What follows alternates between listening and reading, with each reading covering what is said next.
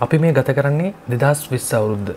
මේ දෙදස් විස්ස අවුද්ධ පටන්ගත්ත ගමන් අපිට එච්චර හොඳ දේවල් අහන්න දකින්න ලැබෙන්නේ නෑ අවුද්ධ පටන්ගත්ත ගමන්ම අපේ වීරෝධාර රණවිරුවන් කිහිප දෙනෙක් අවසන් ගමන් යනවා ඒවගේම පහුගේ දවසද අපි දැක්ක ශ්‍රී ලංකා ගුවන් හමුදාවට අයත් ගුවන්්‍යානයක් අනතුරට ලක් වෙලා තවත් රණවිරුවන් හතර දෙනෙක් මිය යනවා එත් එක්ම අදදිනේදත් අපිට අහන්න ලැබෙනවා මේ වගේම සිද්ධියක් එතම ඇකිරිය බස්රතය තේවත්තකට පෙරලිලා ඉතාමත්ම විශාල හානියක් සිද්ධ වෙලා තියෙනවා ඒ අවස්ථාවේදී ලබාගත් රූපරාම තමා ඔයා මේ වෙනකොට දකින්නේ මේ සිද්ධ වුණු තිබුණු බස්රත අනතුර නිසා මිනිස්සුන් කිහිප දෙනෙකුගේ ජීවිත නැති වෙලා තියෙනවා කියලා තමා මේ වෙනකොට අපිට දැනගන්නට ලැබෙන්නේ මේ වීඩියෝ එක බලන ඔයත් ඒ ප්‍රදේශය කෙනෙක් නම් මේ බස්රත අනතුරට හේතුව ඔයා දන්නවනම් අනිවාර්යයෙන්ම පල්ලෙහෙන් කමෙන්ට් එකක් දාන්න මොකද මට හේතුවක් හරියටම හොයාගන්න බැරුණා ඉතින් මේ වීඩියෝ එක මට හම්බුන ගමන් ඒ නිසා තමයි මම දාන්න හිතුවේ වීඩියෝ එකේ තියෙන විදිහට නම් ටිකක් විතර විශාල හානියක් සිද්ධ වෙලා තියෙනවා බැලූ බැල්මට කොහොමුණත් මේ අනතුර නිසා කිසිම කෙනෙක්ගේ ජීවිතවලට හානියක් වෙන්න එපා කියලා අපි ප්‍රාර්ථනා කරනවා